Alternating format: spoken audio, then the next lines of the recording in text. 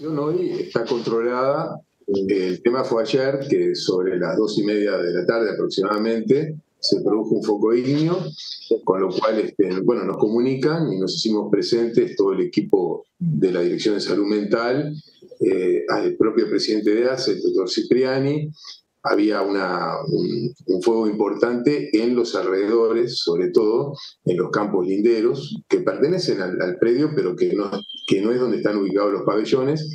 Donde están ubicados los pabellones fue un poco en derredor de los pabellones, pero sí, eh, mediante una rápida acción de los funcionarios y el personal que trabaja, eh, los pacientes fueron rápidamente evacuados al aire libre, eh, con lo cual se logró evitar eh, ningún impacto desde el punto de vista físico y bueno, y tampoco psíquico de ninguno de estos pacientes, ¿no?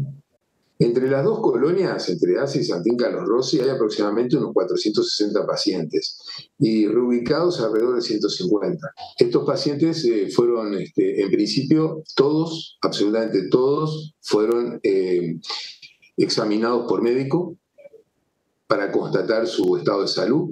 Su estado de salud, tanto desde el punto de vista físico como psíquico, era normal.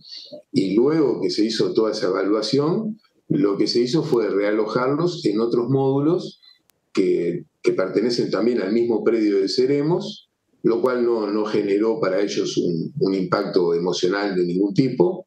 Estaban todos bien, de buen humor inclusive. Este, no, no lo vivieron con, como un estrés este, importante. Pero lo más importante, a mi criterio, es de lo malo sacar las conclusiones de, buenas que a veces no, se suelen resaltar, que es el grado impresionante, el, gran grado de compromiso de todos los funcionarios